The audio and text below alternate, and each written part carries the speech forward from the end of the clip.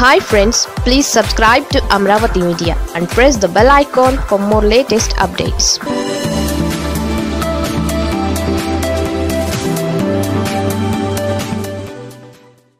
Raghurama వ్యవహారంలో మరో సంచలనం రెడీ అవుతోందా?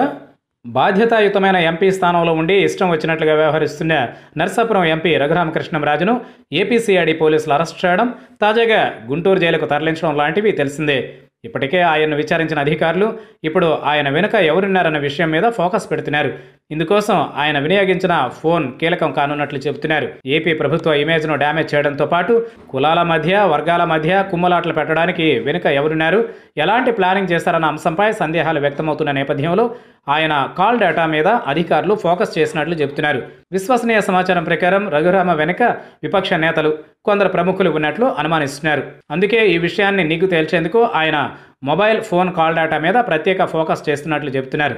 అంతేకాదు వాట్సాప్ చాటింగ్ల మీద సిఐడి దృష్టి పెట్టింది. రఘురామ ఎవరి సలహాల్ని సూచనల్ని అందుకొని నేరాలకు పాల్పడ్డారన్న అంశంపై పోలీసులు విచారిస్తున్నారని చెబుతున్నారు. రానున్న రోజుల్లో దీనికి సంబంధించిన మరిన్ని బ్రేకింగ్ న్యూస్లు బయటకు వస్తాయన్న అభిప్రాయం వ్యక్తమవుతోంది.